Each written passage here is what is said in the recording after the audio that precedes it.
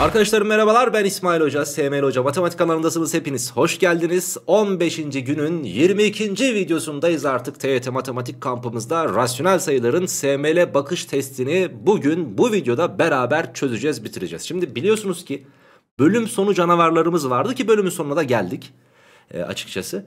Bölüm sonu canavarı dediğimiz şey ne? Kamp programında yer alıyor. Bu bölüm sonu canavarında Barış hocamız, Barış Çelenk hoca sizler için gençler ne yapacaktı? Böyle her bölümün sonunda o bölümle alakalı güzel sorular çözecekti size. Ee, bu da aslına bakarsak hem bir bölüm değerlendirmesi olacaktı. Hem de böyle o bölümle alakalı karşınıza çıkabilecek sorular ve daha da ilerisi olan sorular çözecekti. Lakin e, geçen hafta Barış Hoca e, yaşadığı bir e, ufak kaza sonucunda elinin üstüne düştü ve hani şu an eli şu şekilde komple alçıda. E, böyle şu küçük parmağının şurasında bir kırık var ve elinde de bir ezilme var. Bu ezilmeden kaynaklı kolu alçıda. Alçıda olduğu için bırakın video çekmeyi e, soru dahi aslına bakarsanız şu an yazmakta da güçlük çekiyor. Tabi yazamıyor doğal olarak. E, bundan kaynaklı bölüm sonu canavarının ilki gelmeyecek. Dolayısıyla o gününüz boş kalacak. Ama o boşluğu e, şu şekilde dolduracağız. Barış hocam e, bu gece itibariyle Ankara'ya gelecek. Birkaç gün Ankara'da kalacak ve beraber bir video çekeceğiz sizlere. O videonun konseptini şu an ayarlıyoruz ama çok güzel bir video olacak.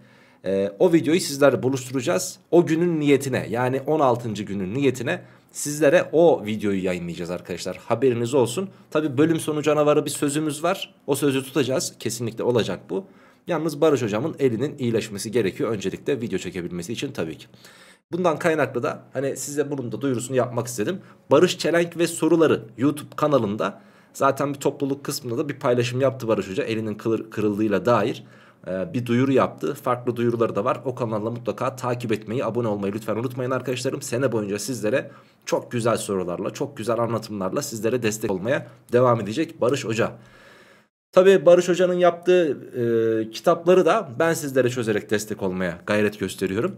E, kampımızı da 15. gününe kadar gelmiş bulunmaktayız artık. Ve devam ediyoruz şimdi. Eğer kitabın önündeyse karşıda ben varsam ve elinde de bir kalem bir kağıt varsa elinde de bir kalem bir silgi varsa diyelim kağıda gerek yok kitabımız var. Eğer o zaman başlayabiliriz dersimize. Evet SML bakış birinci sorumuza şöyle yaklaşalım ve bakalım. Aşağıdaki şekiller kendi içlerinde eş alanlı bölgelere ayrılmış. Şekil 1'de boyalı bölgenin alanının tüm şeklin alanına oranı m. Şimdi boyalı bölge 3'e ayrılmış. 3'e ayrıldığına göre şu kısım bize bunun 1 bölü 3'ünü ifade ediyor. Burası 5'e ayrılmış 4 tanesi boyalı. Bu da 4 bölü 5'ini ifade ediyor. O zaman ben şunu söyleyebilirim ki m sayısı 1 bölü 3'müş. n sayısı da 4 bölü 5'miş. Diyor ki m ile n'nin çarpımı. E ben bunları çarparsam tabii ki de 4 bölü 15'i bulacağım. Ve bu 4 bölü 15 e, devirli biçimde şu şekilde ifade ediliyormuş. Tamam. Şimdi burada tabii a'nın 0 olması gerektiğini düşünebiliriz. Çünkü 4 bölü 15 basit kesirdir. Basit kesirlerde ondalık sayıya çevrildikleri tak takdirde tam kısımları sıfırdır. Ama biz yine de 4'ü 15'e bölerek bu devirli ondalık sayıyı da ifade etme, etmeye çalışalım. Buraya bir 0 koydum. Buraya bir 0 ve virgül attım. Şimdi bölmeye devam ediyorum. 40'ın içerisinde 15 2 defadır. 2 kere 15 30 yapar. Çıkardım 10 geldi. Onun içinde 15 yok bir 0 ekledim. 100'ün içinde 15 6 defadır. 6 kere 15 90 yapar. Çıkardım 10 geldi. Bir sıfır daha koydum yine 6 geldi ve hep 6 gelmeye devam edecek artık. Yani 0,26'da 6 devreden bize A virgül BC'de C devredeni veriyormuş. Bundan kaynaklı A sayısı 0'dır, B sayısı 2'dir, C de 6'dır arkadaşlar. Bizden A artı B artı C istenmişti. 0, 2, 6'nın toplamı 8 yapar ve bundan kaynaklı cevabımız E şıkkında verilmiştir diyebiliriz gönül rahatlığıyla. Evet bu bir önceki videonun sonunda da belirtmiştim. Buradaki 4 soruda sizlere TYT'de ve MSÜ'de karşınıza çıkması muhtemel olan soruları ben e, buraya yazmaya gayret gösterdim. Bu soru genel itibariyle ortanın bir tık üstü e, pardon özür dilerim kolayın bir tık üstü e, olarak niteleyebileceğimiz bir soruydu. Ki hani ÖSYM'de hep şu algı var. E, tamam bunlar iyi de ÖSYM'de bunların çok soru çıkıyor. Öyle bir olay yok. ÖSYM'de de kolay sorular çıkıyor ki 2024 AYT için zor dedik hepimiz. Lakin e, TYT sınavına baktığımız zaman yani şunda hem fikiriz. TYT sınavı bu yıl açıkçası hani orta düzey bir sınavdı. İçerisinde kolay sorular da vardı. Ki mesela böyle bir soru bu seneki TYT'de de çıkabilirdi. E, seneki TYT'de de çıkabilir. O yüzden e, aklınızda bulunsun diyelim. SML bakış 2. X, Y, Z tam sayılar olmak üzere X tam Y bölü Z şeklinde ifade edilen kesirlere tam sayılı kesir denir. Burada tam sayılı kesirin kesir kısmı basit kesirdir. A kümesi de 3, 4, 5, 6, 7, 8 elemanlarından oluşuyor. Bu kümenin elemanlarından 3'ü seçilerek X tam Y bölü Z biçiminde tam sayılı kesirler yazılıyor. Buna göre yazılabilecek en büyük tam sayılı kesir en küçük tam sayılı kesirin kaç katıdır diye sorulmuş. En büyük tam sayılı kesiri elde edebilmek için bir kere tam kısmının daha büyük olması gerekiyordu. Yani ben en büyüğünü bulmak için tam kısmını burada 8 seçerim. 8'i seçtikten sonra. Şimdi bana ne lazım? Bir basit kesir lazım. Bunun yanına yazabileceğim ve çok büyük olması lazım bu basit kesirin. 6 bölü 7 gibi. 6 bölü 7. İşte bu yazılabilecek en büyük tam sayılı kesirdir. Ki ben bunu bileşik kesir haline dönüştürecek olursam 7 kere 8 56 buna 6 ekledim 62 bölü 7 geldi. Şimdi bu yazılabilecek en büyük bu maksimum. Bir de bunun en küçüğünü bulalım gençler. En küçüğü bulmak için de tam kısmını tabii ki de 3 seçerim. 3 tam. Şimdi Kesir kısmını da küçük seçmem gerekiyor. Kesir kısmını küçük seçmek için 4 bölü 5 değil 4 bölü 8'e ihtiyacım var. 4 bölü 8 aman ona dikkat et ha. Bu da 3 tam 1 bölü 2'nin ta kendisidir biliyorsun.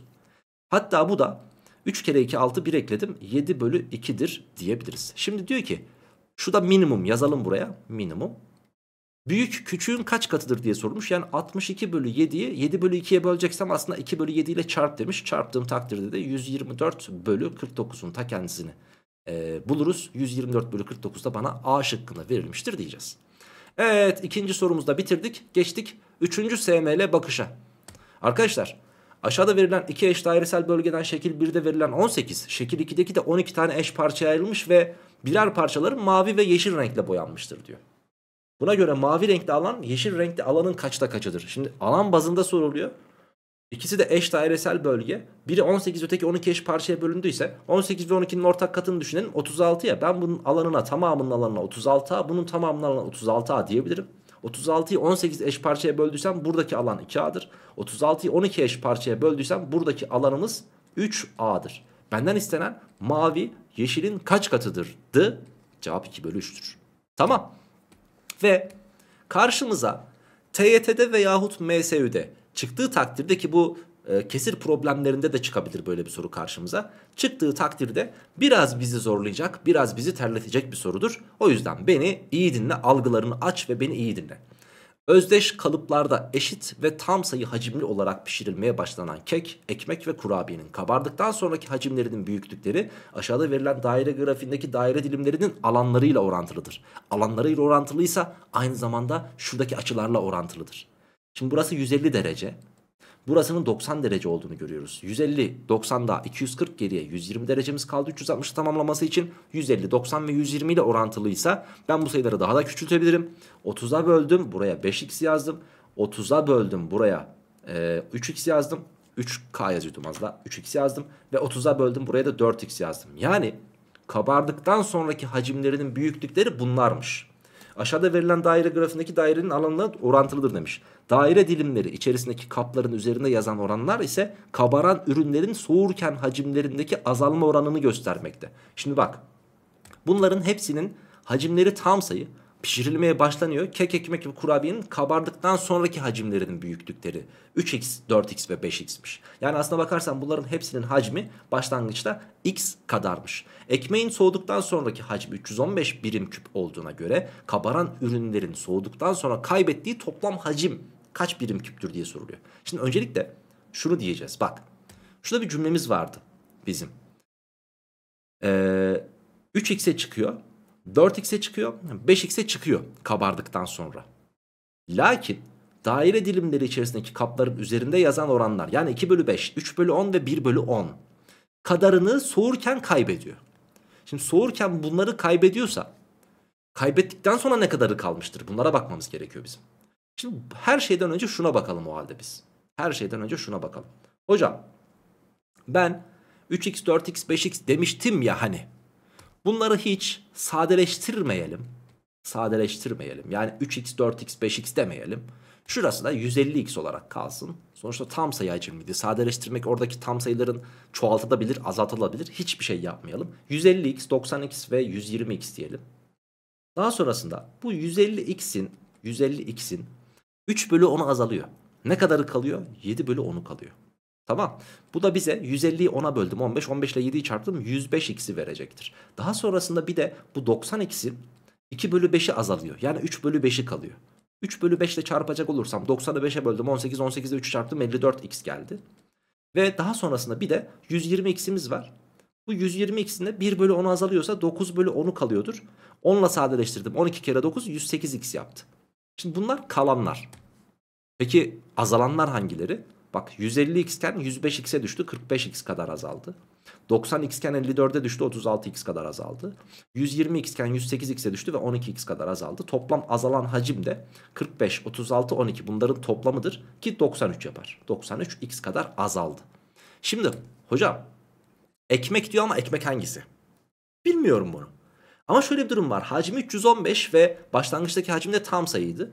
Şimdi 105x, 54x ve 108x. Acaba 105, 54 ve 108'den hangisi 315'e tam bölünür? 105x.